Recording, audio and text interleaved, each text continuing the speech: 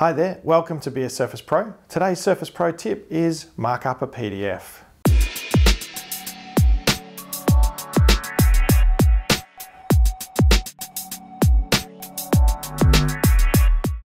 We previously made a video called how to draw in a PDF, but it's time to update that information. Here in 2018, there's a few new PDF tools that we have available. My favourite PDF markup tool is still Drawboard PDF. Drawboard is an app that's available in the Microsoft Store. It costs around $15 Australian and it's well worth the money. It's got some fantastic PDF markup tools.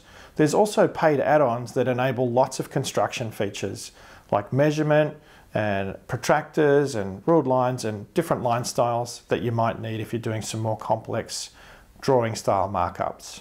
If you're after something that's a little bit more simple and maybe free, Another app that you can get from the Microsoft Store is Xodo PDF, and it has some great markup tools, a very simple and clean interface. It's quite responsive and easy to use.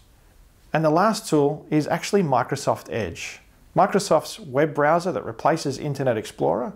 Since the March 2018 update of Windows 10 has actually had markup tools for PDFs built in. So even if you don't use Microsoft Edge as a web browser, you can actually use it as a PDF markup tool.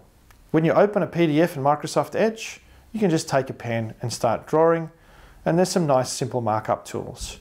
It's very responsive to touch as well as pen, and it can differentiate between pen and touch input. If you found this tip helpful, remember to give us the thumbs up and subscribe to our channel for more Surface Pro tips.